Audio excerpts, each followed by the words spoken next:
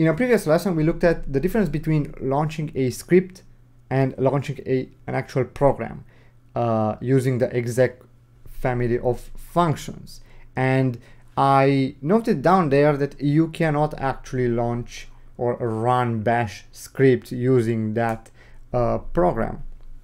Namely, we tried to run the ping command together with the grep commands. And what we did in that video was simply call ping dash c, let's say 5 google.com, and that would just ping google.com five times. And at the end, it will give me my uh, my average, my round trip time. And here's the minimum milliseconds, the average, and the maximum. Right, we can see them uh, out here. And I wanted to sort of get that information through the grep uh, command. So I was just taking the output of ping, using the pipe to sort of move the output to the input of the next command, which was grep in this case. So I wanted to send that to grep and I want grep to just take in this the line that has RTT on it. And hitting enter would just pause for a few seconds while it does the pings and then there's the result. That's our round trip time and only that is what we got on the uh, terminal. And in that video I showed you that you cannot do that, but how can we actually do this uh, now that we know more about processes in C? So here we have that uh, command that I executed on terminal and this is what we want to simulate in our uh, C program. And we know that we cannot actually do this just using one exec call. We learned that in that previous lesson. Uh, so let's analyze this line a bit. The, the main part to realize is that really we're executing two programs, right? We're executing here ping so let me get here a marker. So executing ping, if I, there we go. That's the first program. And the second program is grep, right? So we have here two programs and these are the programs and RTT c5 google.com. Those are all parameters, okay? The next part to realize is that they are linked. They are linked through that pipe operator. And the pipe operator is really named before the uh, pipes in C that we have learned about in this course. And really that's all this pipe does, except it does a few more things besides just opening a pipe. So if we think about this being a pipe, right, this is a pipe, that also means that we are actually opening a pipe that has two ends and those two ends in this case in the bash script uh, are routed in a certain way.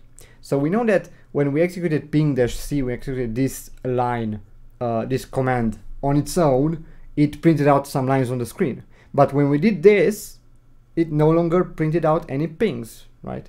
It just printed out whatever grep found. So that means that the output of the left hand side, the left program is actually routed through this pipe. Okay, so we have basically, uh, let's say here, this, like that, and here this we can note down to be the std out. Right, so this is the standard output of this program here that is routed to this pipe. Okay, that's the first end of the pipe. So this ping is actually writing its std out not to std out, not to the terminal, but to this pipe. So that's why we're not seeing anything on the screen. But then there's another question. How does grep know that, oh, okay, I have to take a look at those uh, those lines specifically, the, the, the lines that we have uh, the ping actually give out in the terminal. How does that know? Well, that's because also the standard input of grep is set to be on this pipe. So std in.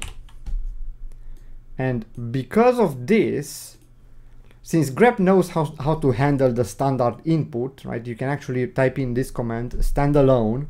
If you type it in standalone, it's not going to do anything. It's going to wait for you to type in something on the keyboard.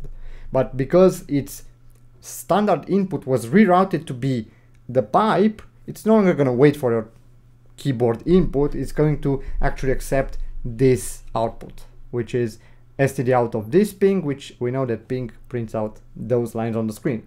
So this is how the pipe operator works under Unix.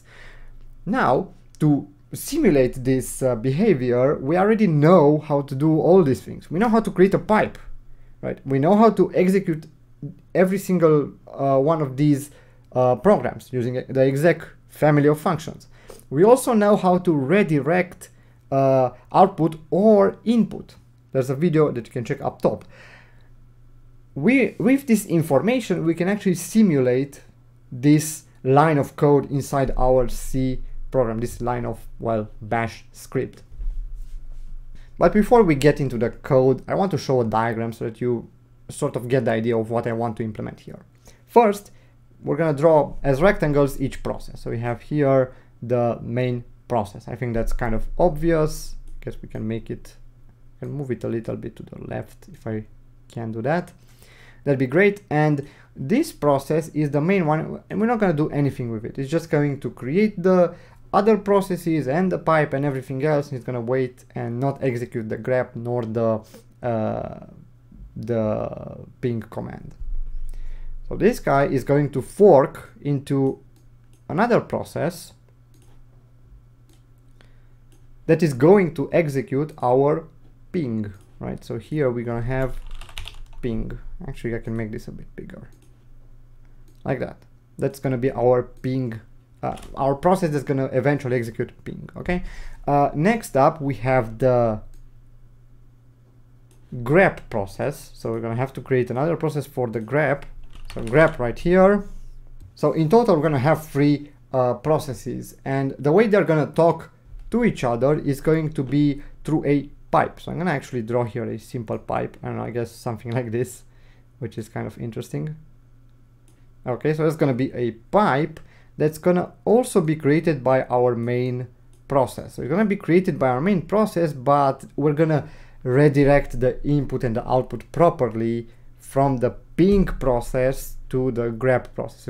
It's gonna, go the flow of information. Let me actually pick out the proper color here. The flow of information is gonna go like this from ping to grep.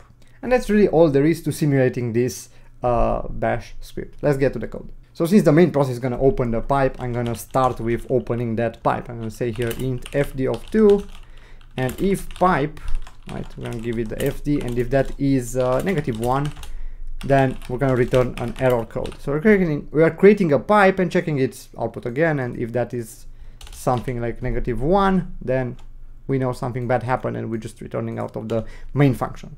If everything is alright, we know that we have a pipe and now all we have to do is to create the processes. Right? So we need to create two processes. First, pid1 equals fork.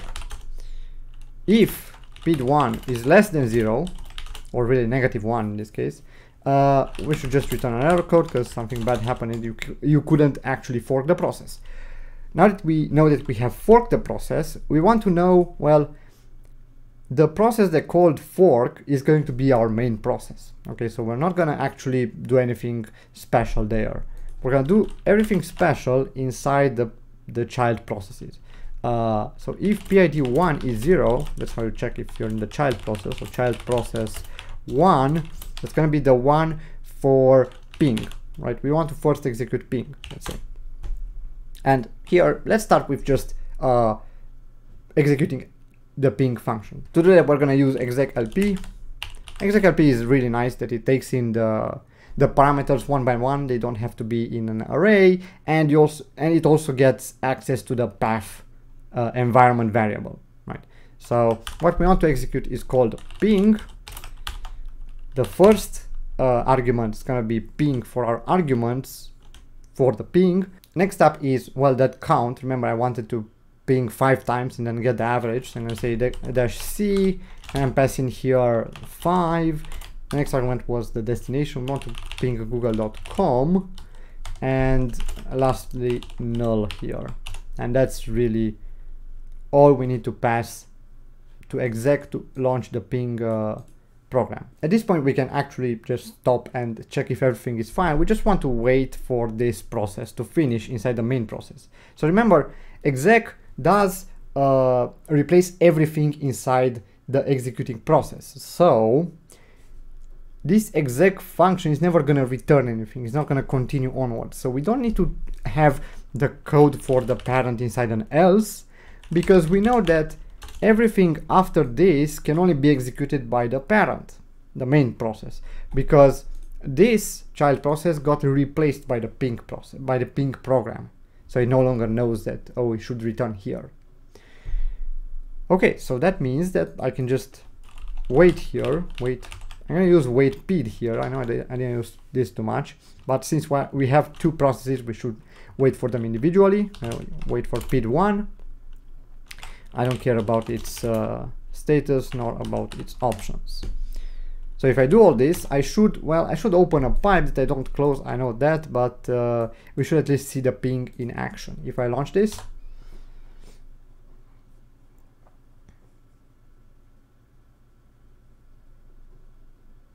and we do actually see a result here on the screen. We have five pings and it definitely works. Okay, that's amazing.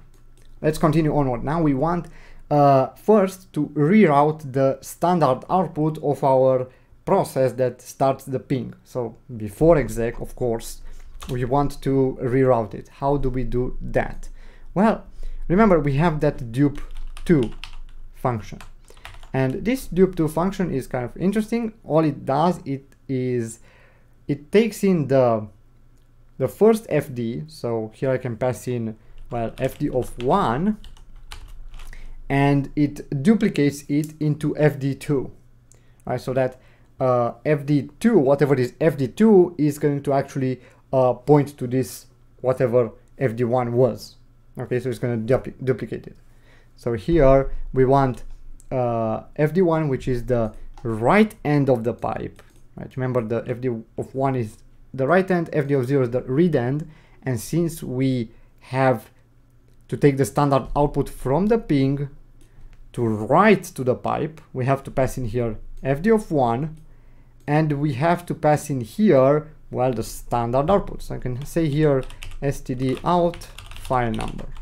And that's going to be, well, that's really going to evaluate to 1. And as you might remember, 1 is the file descriptor for standard output. Now, before going further to the grep program, we should actually note here that we have to close certain pipe ends. So we know that we have to close uh, fd of 0 because we don't use it and we also have to close fd of 1 because fd of 1 actually doesn't uh, it remains opened even though we have duplicated it. Because this dup2 doesn't just move the file descriptor it actually creates another one. So we have two two file descriptors that point to the same well pipe. And we don't need two of them we just need one of them. That's why we're going to close this end as well. Okay that's our ping uh, process. Now let's finish up with the other one, with the grep process. So we have here pid2 equals fork. Again, if fork or if pid2 is uh, less than zero, then something bad happened. I'm just going to return an error code that's free. If pid2 is zero, that means that we're in the child process. So child process 2, and it is our grep process. And in here, again, we let's start with just executing the program. So that's going to be easy. We just say exec lp and we want to execute grep. The first argument is going to have to be grep. Next up is the second argument, which is our RTT, because that's the, remember that's the line that we want to find inside our ping output. So I'm just going to say RTT. And lastly, we have to pass in null. Okay, that's that's simple enough. Now let's also do a similar thing that we did in here, except for the standard input. Right, so we have here to call dup2, but this time we have to call in dup2 to fd of 0, because remember grep replaces its standard output with, well, the reading end of the pipe. It's waiting to read, grep is waiting to read from that pipe. That means that it should read from the reading end, which is fd of 0. And we're going to replace that with std in file number. std in, like that. Okay, and of course we're going to close the ones that will remain open. So fd of 0 and fd of 1 like so and that's almost everything we need to wait of course for p2 so I'm just gonna do this. And let's see here ftp2 wait and um, yeah. That's almost everything. We can launch this program and see if it actually prints out something on the screen. Let's wait here and we're gonna wait for the ping to execute and at some point we get our round trip time. So that definitely works but there's an issue like what what's what's happening? Why why is it not stopping? Just kind of stuck there. Huh. Very interesting right? Well the issue with this is actually pretty simple if you think about it. So the idea is that grep keeps on reading, right? Keeps on reading input from the whatever pipe you have, whatever file descriptor you gave it, right? It keeps on reading the input from the standard input, which is for it is this pipe now. But, well, since it is uh, a pipe, when does it know when to stop reading? It's like, okay, I can wait here and keep on keep on reading, keep on waiting for some input until when? Well, that uh, actually happens when all the writers, all the writers to that pipe are closed. So we actually have multiple writers opened on this uh, on this pipe, right? We have first, since remember a pipe, a, a pipes or really any other file descriptor gets inherited when you call fork. So each of the, let me actually bring out this diagram. Each of the three processes actually have access to these file descriptors, right? Um, and we have closed them in this, in this one, right? Because we've called close of fd of 0 and fd of 1. We have closed them on here, though we have duplicated in the ping, remember we have duplicated it uh, right here. But that something nice about Linux processes is that they close their std out once they're finished. So once ping has finished its execution, it does automatically close this uh, this duplicated file descriptor of fd of 1. Okay, then what writer is opened? Well, what do you know? It's actually the writer on the main process. The main process still has uh, fd of 0 and fd of 1 right? Even though we don't make any use of it, but it's still there.